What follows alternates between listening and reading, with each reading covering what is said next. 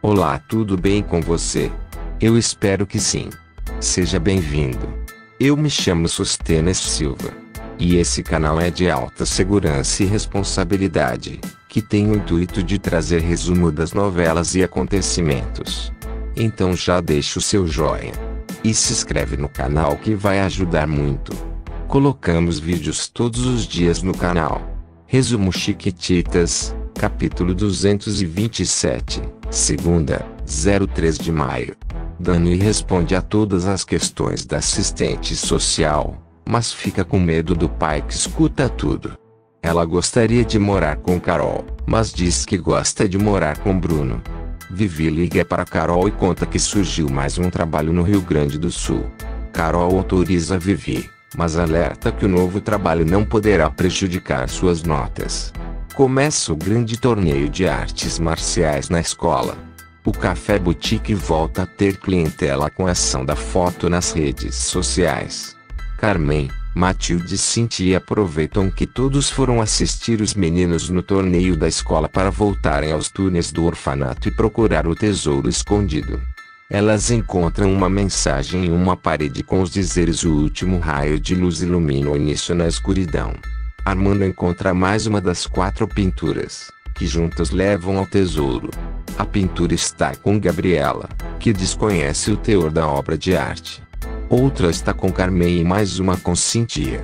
Resumo Chiquititas, capítulo 228, terça, 04 de maio no torneio de artes marciais da escola. O time dos Chiquititos, equipe 6 Tigres, é finalista ao lado do time dos meninos encrenqueiros, equipe Serpentes.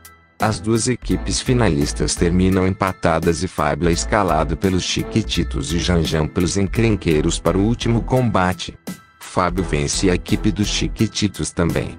Carmen e Matilde revelam para Cintia que descobriram uma passagem secreta, mas que não sabem como fazer para abrir. Carmen mostra que a passagem se abre na escada da sala do orfanato.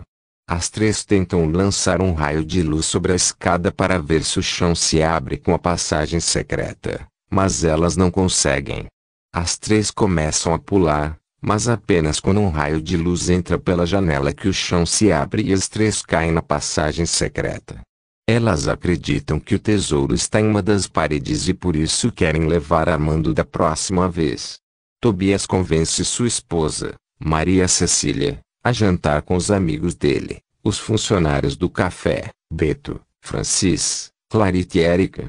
Todos ficam quietos, pois afirmam ser estranho estar com a chefe. Miguel envia para Carmen uma caixa cheia de baratas mortas. Resumo Chiquititas, capítulo 229, quarta, 05 de maio Cris Tati conversam com Vive por vídeo através do computador. No bar, Francis, Beto, Érica, Tobias e Maria Cecília prestigiam Clarita, que canta a música como eu quero. Marian conversa com Milly, diz que acha Duda muito estiloso e bonito. Milly revela que não sente nada pelo garoto. Marian diz que essa é boa notícia, pois está interessada nele. Pata, que também está apaixonada por Duda, escuta a conversa das duas atrás da porta do quarto. Gabriela estranha que Armando, que finge ser Miguel, conhece Cintia. No bar, é a vez de Francis cantar para os amigos e namorada, Clarita. O barista canta a música Amor. Tobias também sobe ao palco e canta a música Delicinha, uma das músicas da época em que ele fingia ser um português chamado Thomas Ferraz. Maria Cecília se aborrece e Tobias jura não cantar mais nenhuma música de Thomas Ferraz. Pata está na cozinha triste, Mosca conversa com a irmã e pergunta o que aconteceu. Resumo Chiquititas, capítulo 230, quinta, 06 de maio Teca se esconde para que Chico não aplique a injeção de insulina devido suas diabetes. Teca não quer mais tomar a medicação e tenta burlar a dieta especial. Fernando, que vai ao orfanato visitar as crianças, e ajuda a convencer Teca a tomar a injeção. Parte das chiquititas vão ao Café Boutique, que está lotado. Fernando vai à mansão dos Almeida Campos, sugere para Carmen que ele seja o médico oficial das crianças e diz que não cobrará nada. Carmen questiona se Fernando fará isso pelas crianças ou para se aproximar de Carol. O médico confessa ser pelos dois motivos. Carmen revela que prefere que Carol fique com Fernando e que aceita a proposta de Fernando. Maria e boneca Laura também abraçam Miguel e comemoram a volta do fantasma, que é como chama Miguel. Resumo Chiquititas, capítulo 231, sexta, 07 de maio Carmen e as damas da caridade vão ao café boutique e se incomodam com o ambiente lotado de jovens. Passou que dois de seus amigos veem a movimentação no café e decidem entrar na loja. Os trombadinhas roubam as carteiras das damas da caridade sem que elas percebam. Na praça com Armando, Gabriela vê Emily sentada num dos bancos e a reconhece como sendo a menina de seus sonhos. Gabriela está sem memória e pensa se chamar Sofia. Gabriela conta para Armando, que tenta desconversar. Millie sai do lugar e quando Gabriela decide falar com ela, a garota não está mais no banco. Gabriela vai atrás da menina. Mosca vê Paçoca saindo do café e ao lado de Rafa vai atrás do trombadinha. Júnior desce até a loja do café boutique para acalmar a confusão com as damas da caridade. Gabriela mostra um desenho que fez de Milly para sentir e diz que a menina é a mesma que viu no parque.